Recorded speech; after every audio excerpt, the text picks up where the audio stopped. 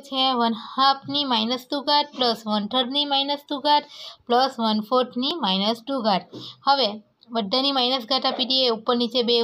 બરાબર? હવે આને ઉલટાઈ નાખીએ. છેદનો અંશ ને અંશનો છેદ થાય તો ઘાટ ધન થઈ જાય. એટલે બેનો વર્ગ વત્તા ત્રણનો વર્ગ વત્તા ચારનો વર્ગ. બરાબર? બેનો વર્ગ કેટલો છે? ચાર. ત્રણનો વર્ગ કેટલો? નવ. અને ચારનો વર્ગ કેટલા? સોળ. એટલે ચાર વત્તા નવ વત્તા સોળ એટલે ટોટલ કેટલા થવાના? ઓગણત્રીસ થશે.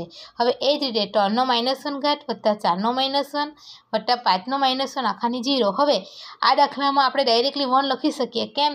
કે આ ત્રણે ત્રણનો જે સરવાળો છે એની જીરો ઘાત છે. અને કોઈ બી સંખ્યાની જીરો ઘાત એટલે આપણે એક લખી શકીએ. હવે આગળ પાંચમો દાખલો છે. ઓછા બે તૃતીયાંશને ઓછા બે ઘાટ આખાનો બેનો, આખાનો વર્ગ. હવે ઘાટનો ઘાટ હોય ત્યારે એના ઘાટનો ગુણાકાર થાય છે. એટલે માઇનસ બે તૃતીયાંશ માઇનસ બે ગુણ્યા માઇનસ બે એટલે કેટલી રહેવાની? માઇનસ બે તૃતીયાંશની ઓછા ચાર ઘાટ. હવે એની આપણે ધન ઘાત કરીએ તો આ છેદ અંશમાં અને અંશ છેદમાં આવે. એટલે ત્રણ તૃતીયાંશ ઓછા ત્રણ તૃતીયાંશના ચાર ઘાટ. એટલે ત્રણનો ચાર ઘાટ, છેદમાં ઓછા બેનો ચાર ઘાટ. એટલે ત્રણનો ચાર ઘાટ કેટલો? ત્રણ ટાળી નવ ટાળી સત્તાવીસ ટાળી એક્યાસી. અને એ માઇનસ છે. ચાર વખત છે એટલે પોઝિટિવ થવાના. બે ડુ ચાર ડુ આઠ ડુ સોળ. એટલે જવાબ કેટલો મળવાનો? એક્યાસીના છેદમાં સોળ મળશે.